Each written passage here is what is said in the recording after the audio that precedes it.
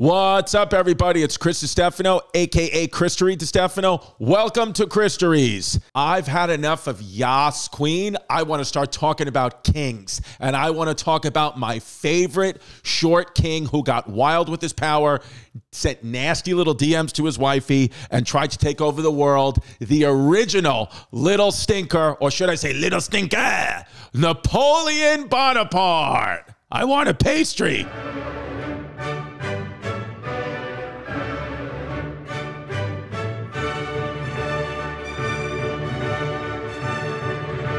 All right, I'm going to take you back to the late 1700s, early 1800s, back when men dressed like women, women were property, kids were sex slaves. What is this, the Grammys? France, baby. France in the late 1700s, early 1800s. France was the powerhouse of Europe. Not so much anymore. That's the United States, although France is very good at soccer. King Louis, the XV1, I don't read Roman numerals, so I'll never know what that is, but King Louis, the XV1, and the Royals, they partied up they were partying, having a good time, and guess who was paying for it? The poor. Okay, there was this huge wealth gap happening. France was on the precipice of a revolution. They had ideas from what they saw at the American Revolution, and the poor were mad because the rich were getting richer and the poor were getting poorer. Watch your back, Bill Gates. France is the center of the Enlightenment movement in Europe. They had the best silk, trade, they had the large overseas empire. France was killing it. They were a powerhouse. That's why we called on them to help win our freedom from the British. Napoleon Bonaparte was born August 15th, 1769. I was born in August too. Were you a Virgo, Napoleon? I don't know my signs. In Ajaccio, which is on the Mediterranean island of Corsica. Ajaccio. I don't know if that's by Sicily, but I'm going there in April. His dad's name was Carlo Bonaparte. This is a Carlo Colucci sweater. He was a lawyer. And Letizia Romalino Bonaparte. So he had really like Italian, kind of Mediterranean parents, but this little motherfucker was going to grow up in France. He had seven siblings and he was the second child. Okay. So he had a lot of competition. That's what happens. A lot of times these dictators, they have they had a lot of competition at home or in the womb and they're always fighting to prove that they're the best. He grew up speaking Italian and Corsican. I don't even know if Corsican is a language anymore. I have no idea, but if it is, it's probably on Babbel Use the promo code chaos. Just a year before Napoleon was born in 1768, France is just going around seizing land. They're just taking things like how the U.S. just takes little islands. We're taking them. But one of the islands we took was Corsica, which technically belonged to Italy. So technically, Napoleon was born in Italy, but it's going to become French property. So was Napoleon Italian citizen? We don't know. But a lot of short people just want to be dictators who are from Italy. Napoleon, Mussolini, Leonardo DiCaprio, everybody just wants to take over the world. He was born Napoleone, but then he changed his name later to Napoleon. That's a very interesting move. Napole I kind of like Napoleone better. Hey, what's up, you little Napoleone? So Napoleon enters the military, which is what everybody used to do back in the day. You have to understand, living back in these times, if you weren't in the military, then you were just gay. Literally, either you fought and died for your country or you lived the rest of your life like a homosexual. That's what the citizens looked at you as. And if you were living over 30, then they thought either you must have been a pussy and not fought in war and want to die for your country, or you love cock, or both. I would have thrived in this time. Napoleon didn't even learn French until he was 10 and he was bullied for his accent. That's not right. He got bullied for his accent. And today, instead of being a small dictator that would go on and try to take over the world, he would just go trans. That's what would happen today. And that's why the world's a safer place. Trans lives matter and they keep us safe. More trans cock in the military is what my platform is. Now, he did go on to graduate from the French Military Academy at 16 years old in 1785 okay? 16 years old at in 1785 which you're already at 16 you already are kind of a man. You already are going to be fighting in battles. If you're a woman you're already a grandma.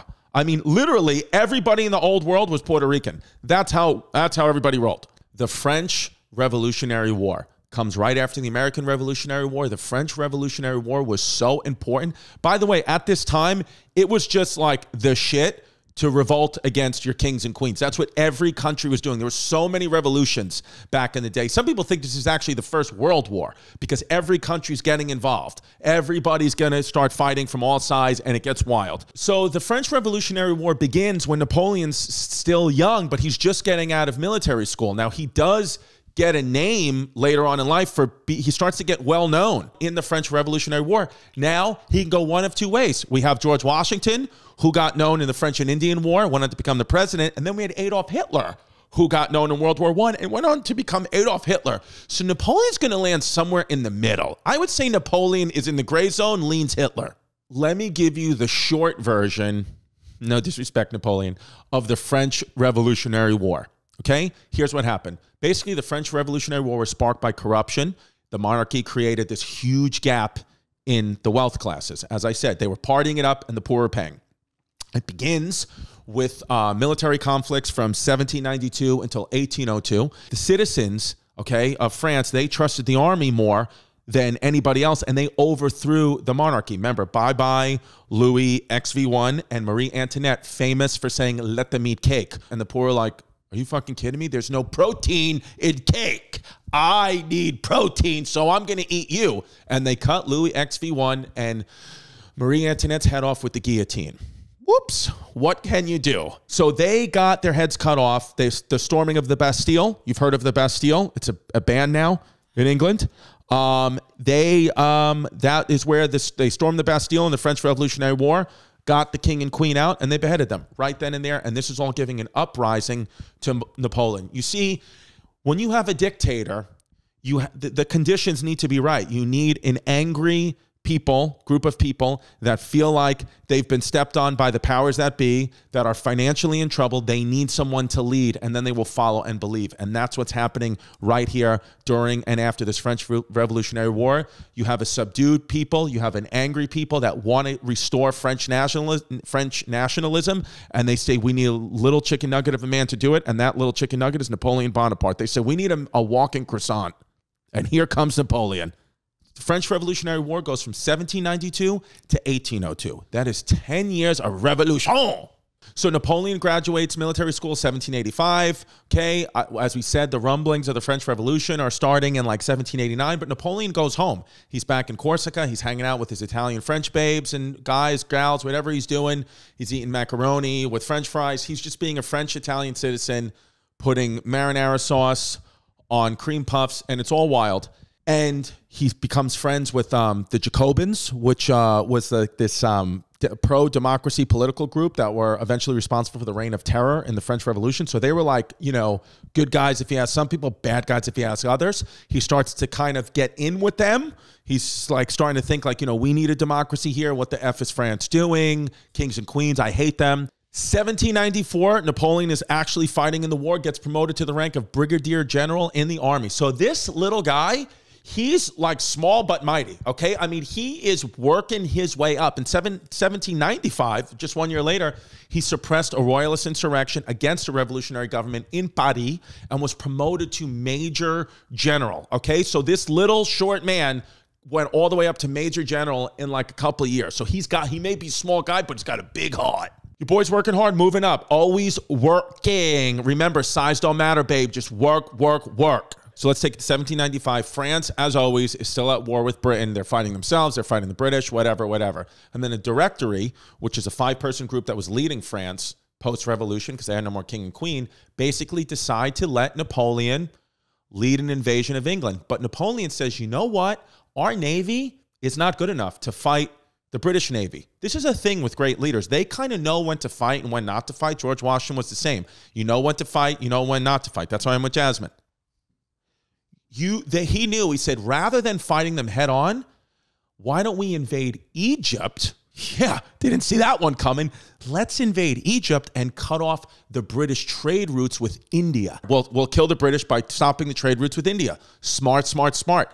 He a little guy with a big brain. So they go to cut off the uh, profitable uh, trading outposts in india went to egypt cut off all those british trading uh, trading routes and then when he crossed over to Egypt in 1798 with an entire army at his command, um, he basically, instead of just it being all about war and killing everybody and blood, he's, you know what? I'm going to go with scientists. I'm going to go with linguists. I'm going to go with scholars to advance the knowledge and get some Egyptian riches. You're going to see how this has a direct correlation to the Louvre in Paris in just a moment. And the Egyptians, they actually didn't mind the French scholars. They really didn't. I mean, listen, they were always drunk and banging their women and giving everybody STDs, but that's just what French people do. It's fine.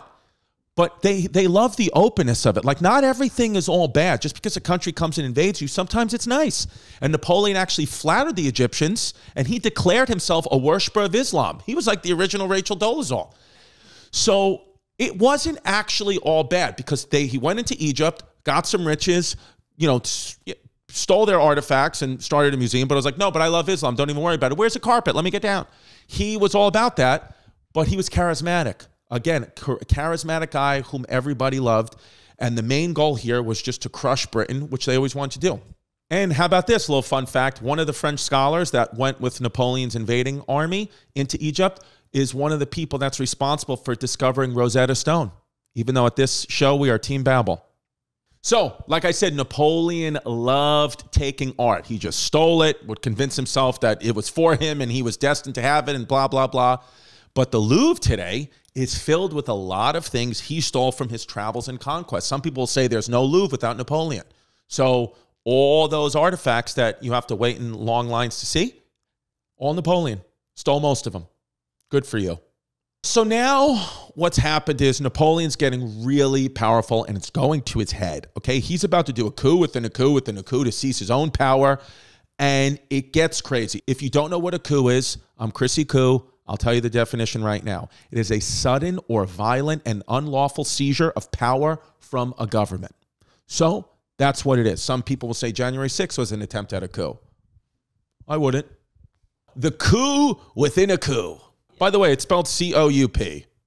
In America, we should just spell it C O O. Cuckoo. The five person group that had governed France, as we said before, since 1795 is called the Directory. Today in America, that five person group is called the Rothschilds. But back then, it was called the Directory. And they were experiencing a lot of corruption, and people were like, listen, you gotta go. So Napoleon teamed up with two other guys, and he got rid of the Directory in November 1799 in an event known as the Coup of 18 Brumaire.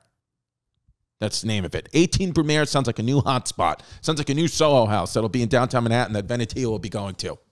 So Napoleon, he was successful in changing some of the laws. And basically one of those laws was he made himself consul. That's usually the first law of these people. They say, you know what?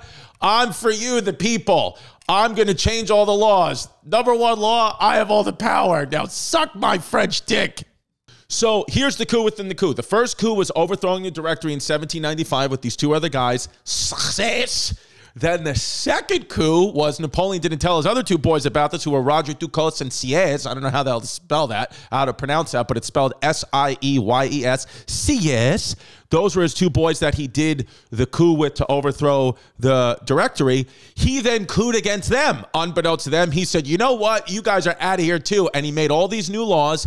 And the first law, which every dictator always does, is they make believe that they're all for the people. And then the very first law is okay, law number one, I have all the power. So come suck my French toast stick. All right, now with Napoleon, of course, we got to talk about his wife. Love and marriage, love and marriage.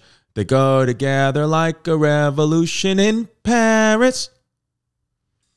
Just thought of that. With all these wars going on, coups within coups, that makes a motherfucker horny.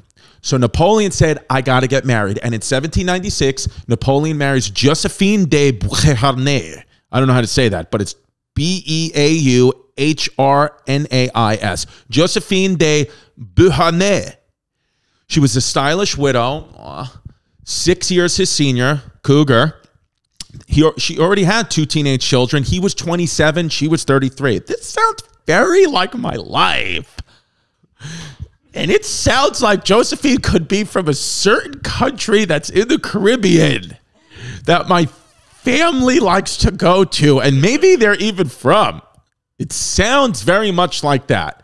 Empress Josephine was from San Juan, France. I mean, France. Now, Napoleon was often on the road, like somebody I know. And but he still had to carry out his military duties and campaigns. Therefore, he was often he was often writing letters and mailing them to Josephine. Her responses were less frequent, though. Basically, if, if he had a phone today, it, it's Mad Blues on his phone, just Mad Blues. He's just sent firing out DMs, just just, and then she's getting back like, "Dope, yes, hey, thumbs up." It's like humiliating, but this guy's horny. He's on a military conquest. He's got all the power. He's like, I'm gonna, I need to talk to her. I was thinking Valentine's Day is coming up. Why not read a couple of the letters from Napoleon to Josephine? It will spark some ideas for you guys and girls on what you should say to your lover. Now, Napoleon's love letters, some people may know about them, some people may not. They've been published, they were discovered. Let's read some of the letters that Napoleon wrote to Josephine, and you'll see they get increasingly crazier and crazier, but they start off cute. Like every psychotic ex lover, it starts off cute, then it winds up with you having your head in your lap. So, this is a letter from 1796. This is Napoleon talking to uh, Josephine. A kiss on your heart and one much lower down, much lower. How happy I would be if I could assist you at your undressing. The little firm white breast, or black or Asian or Puerto Rican. The adorable face, the hair tied up in a scarf a la Creole. Cute, cute. Wants to touch her white titties, kiss on her heart, much lower down, wants to go down on her smelly vagina. It's all cute. Here we go. This is another cutie. I am awake or filled with you. Your image and the intoxicating pleasures of last night allow my senses no rest. I like it, Napoleon. It's cute. Getting a little crazy because you're saying that you want her inside of you, which is weird because I don't know that dildos were invented yet. But hey, go you. You're my little short king. Work. Here's another good one. It's starting to, you know, a little bit, getting a little crazy, but still not bad. Things are going well here, but my heart is indescribably heavy. You are ill and far away from me. Be gay, okay? And take care of yourself. You are worth more than all the universe to me. Please go take care of yourself. He's basically saying, hey, make sure you're getting your six month pap smear. Make sure you're doing your yoga. Make sure you're eating right because I need you to be healthy. I need that vagina to be smelly. I need to get inside you. So now things are starting to get a little crazy. I think he's starting to get a little homesick and he's starting to get a little suspicious that maybe she's cheating. I mean, the first off, first one, he goes, Je reviens en trois jours, ne te lave pas, which means, translates into English, home in three days, don't bathe. So it's like, um, okay, why do you want me to be dirty? Maybe he's just going a little cuckoo, but hey, it happens. Of what sort can be that marvelous being, that new lover that tyrannizes over your days and prevents your giving any attention to your husband? So now he's saying, not only do I need you to be smelly, but you're cheating on me. He's starting to get a little schizo. Okay? He's saying, don't bathe, which it happens because, and, and listen, hey, I know what that's like, okay? Because if I come right home and take a shower, Jaz's like, how was the girl you had sex with last night? I'm like, good. Then he says, Josephine, Josephine, remember what I've sometimes said to you. Nature has endowed me with a virile and decisive character. It has built yours out of lace and gossamer. Have you ceased to love me? Are these real? No. I mean, honestly, like Napoleon, like I'll read this letter. Like it, he he's all over the place. He's like in love, but he's also crazy. I mean, this letter. It's like after I read this one, you're like, did this guy kill four college students in Idaho? I mean, wh who is this guy?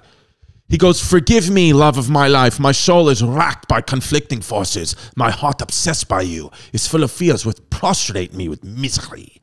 I am distressed not to be calling you by your name. I shall wait for you to write it.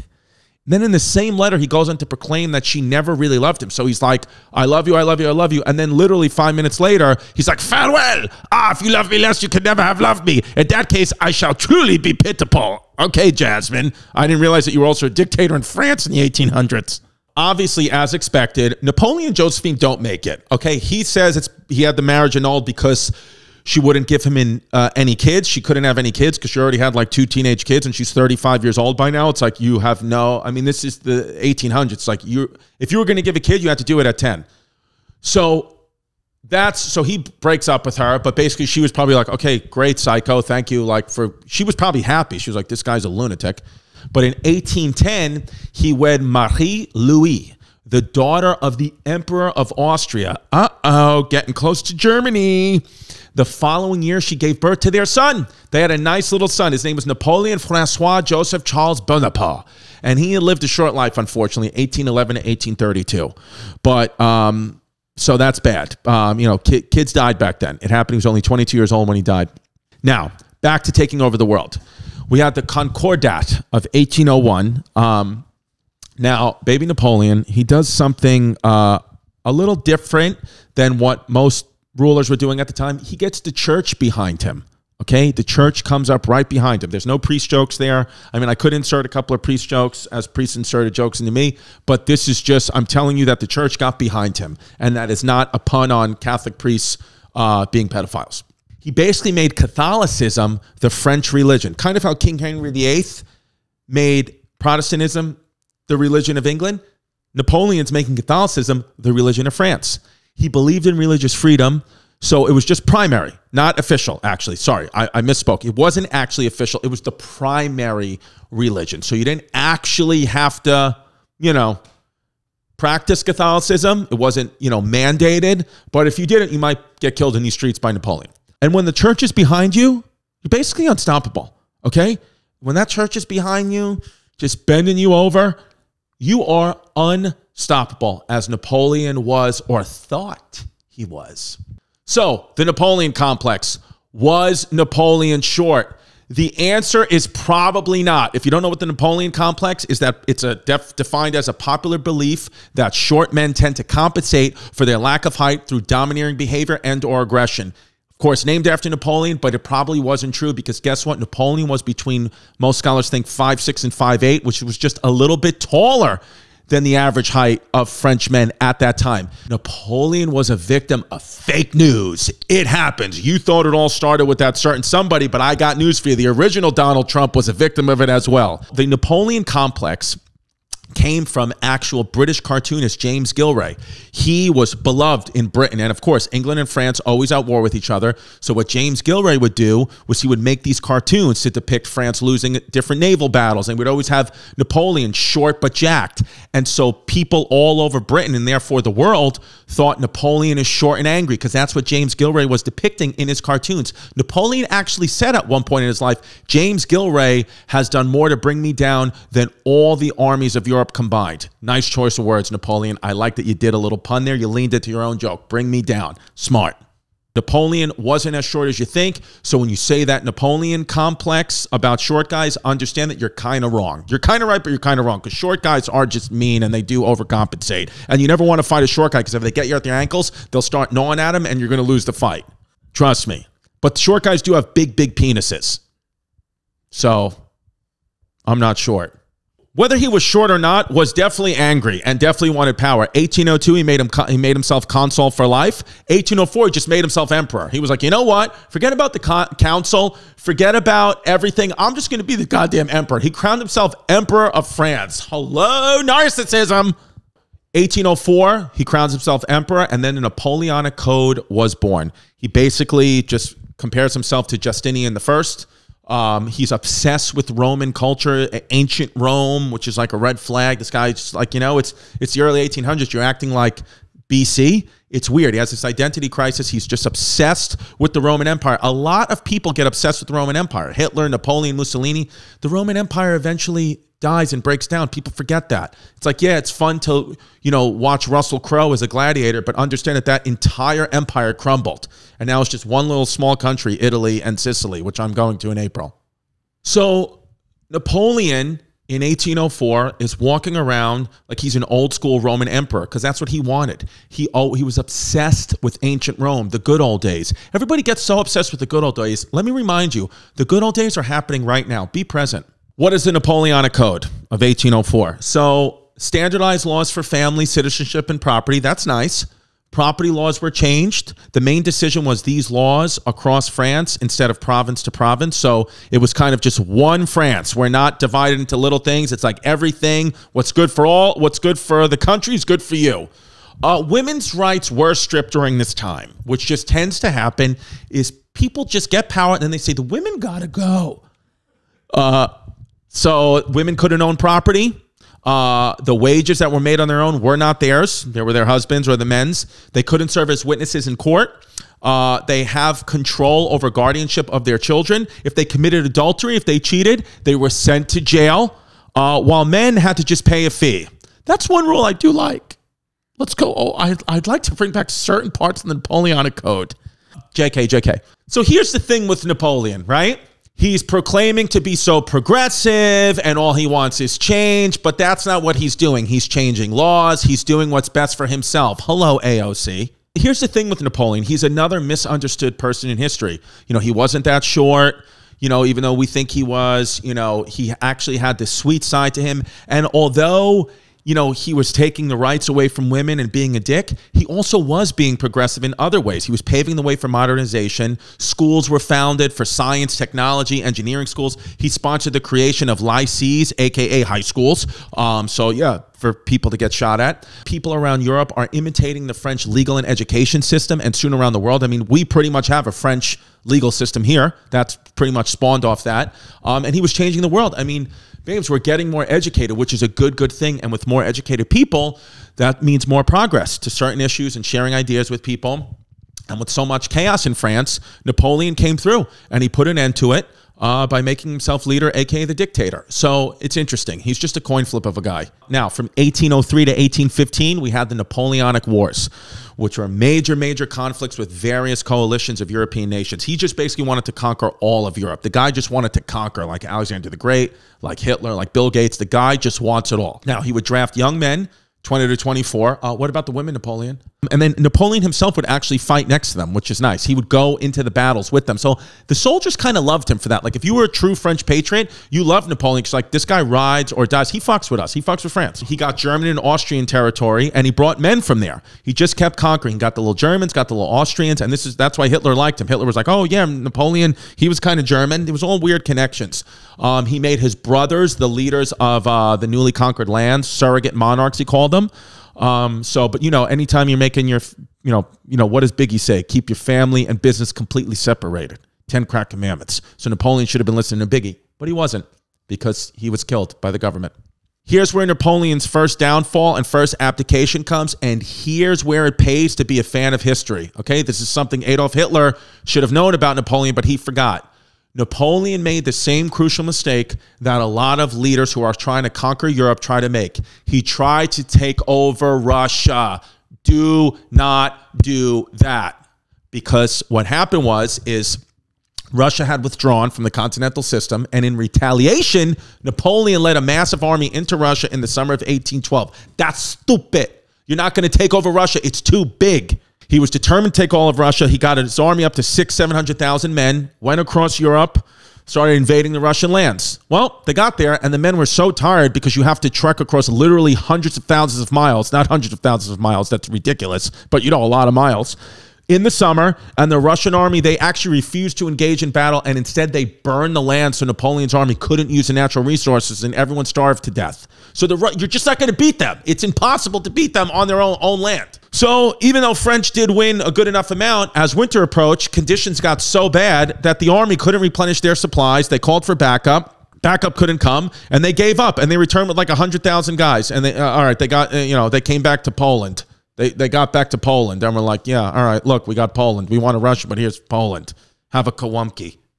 1814, Napoleon's in his mid 40s when Austria, Prussia, Russia, and Swedish troops defeat the French in a combined forces to stop him from continuing his dictatorship. So on April 6, 1814, Napoleon was forced to abdicate his throne. Okay, they didn't cut his head off. They didn't do a Marie Antoinette guillotine, but the guy had to give up his throne with the Treaty of Fontainebleau, which I'll be at Fontainebleau in my, March 31st in Miami show is sold out. He was exiled to Elba, not Idris Elba. That'd be nice. A Mediterranean island off the coast of Italy. He's there, he's in exile, he's chilling, and on February 26, 1815, after a year of exile off Idris Elba, Italy, Napoleon escapes Elba and he sails to France and returns to Paris where he was welcomed by cheering crowds. So this is like an insane story. He gets exiled, is on exile. People are like, oh, I guess we'll never see Napoleon again. The guy comes back in his little boats and the French crowd loves him.